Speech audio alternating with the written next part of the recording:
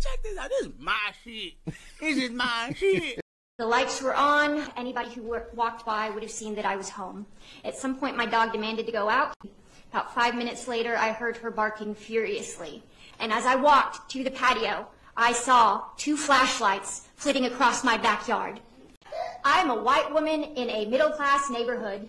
The police were called out to a barking dog, not a welfare call. They started flitting around and creeping around stealthily. They did not come to my front door and announce themselves when anybody could have seen that someone was home. And it wasn't until I cried out that they announced themselves as the police. I am alive, and Tay is not. And that's white, that's white privilege right there. If I were a black woman in this city, my fear would be, what if they shot me?